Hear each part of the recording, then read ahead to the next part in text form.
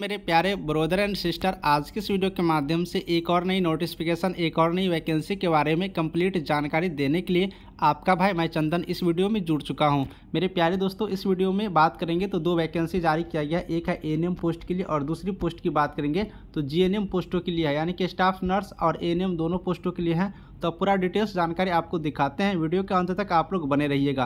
दोस्तों, चल पर पहली बार आए हो तो टेलीग्राम ग्रुप का लिंक डिस्क्रिप्शन में ज्वाइन करें टेलीग्राम ग्रुप में जुड़ने पर आपको सारा पी पीडीएफ वहाँ पर आपको मिल जाएँगे। साथ ही कोई जानकारी पूछनी हो तो पूरी जानकारी भी वहाँ से पूछ सकते हो। दोस्तों, ये गवर्नमेंट ऑफ़ वेस्ट बंगाल की तरफ़ से जारी किया गया है। स्वास्थ्य विभाग पश्चिम बंगाल की तरफ़ से जारी किया गया ये वैकेंसी। यहाँ पर देखेंगे तो आप लोग देख सकते हो नेम ऑफ़ पोस्ट है, community health assistant. West Bengal में कम्युनिटी हेल्थ असिस्टेंट पोस्ट का नाम रखा जाता है एएनएम वालों के लिए, और एक पोस्ट है जनरल कैटेगरी से, इसलिए कोई भी कैंडिडेट इस फॉर्म के लिए अप्लाई कर सकते हैं। पोस्टिंग होगा। भोलपुर एक जगह है म्यूनसिपलिटी वेस्ट बंगाल के अंतर्गत तो वहीं पर आप लोग को पोस्टिंग होने वाला है।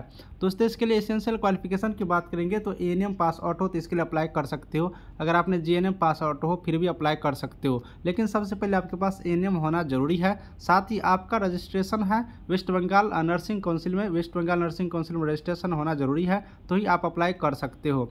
मिनिमम एज इक्कीस वर्ष है और मैक्सिमम चालीस वर्ष है। और सैलरी की बात करिएगा तो तेरह हज़ार रुपये पर मंथ आपको सैलरी दिए जाएँगे। दोस्तों, अब जीएनएम की वैकेंसी की मैं बात बता देता हूँ। जीएनएम की जानकारी यहाँ पर देख सकते हो स्टाफ नर्स पोस्ट का नाम है। एक सीट है, पच्चीस हज़ार रुपये पर मंथ सैलरी मिलेंगे और मिनिमम इक्कीस वर्ष और मैक्सिमम चालीस वर्ष के बीच कोई भी कैंडिडेट इस फॉर्म को अप्लाई कर सकते हो। और इसके लिए एलिजिबिलिटी क्राइटेरिया देखेंगे तो यहाँ पर जी पास आउट हो तो आप लोग अप्लाई कर सकते हो और रजिस्ट्रेशन जो है वेस्ट बंगाल नर्सिंग काउंसिल में होना ज़रूरी है। दोस्तों, अगर आपके पास एक्सपीरियंस है तो और अच्छी बात है, नहीं है फिर भी आप लोग अप्लाई कर सकते हैं। तो जिन कैंडिडेटों को यहाँ पर फॉर्म अप्लाई करना है, उसके लिए बिल्कुल बम्फर मौका है और ये अप्लाई करने का लास्ट डेट सात दिसंबर 2022 है। तो सात दिसंबर 2022 से पहले सारे कैंडिडेट इस फॉर्म को अप्लाई कर देंगे। अप्लाई करने के लिए स्पीड पोस्ट करना होगा। स्पीड पोस्ट का एड्रेस ये रहा। इस एड्रेस पर आप लोग को फॉर्म भर के भेजना है। सात दिसंबर दो हज़ार बाईस से पहले दोस्तों फॉर्म इसी पीडीएफ में मिल जाएगा। ये फॉर्म का फॉर्मेट है। अप्लीकेशन फॉर्म फॉर्मेट इसमें नाम लिखना है father's name address contact number email ID यहाँ पर फ़ोटो चिपकाना। पूरा डिटेल्स के साथ पूरा ओरिजिनल डॉक्यूमेंट का फ़ोटो कॉपी लगा दीजिएगा।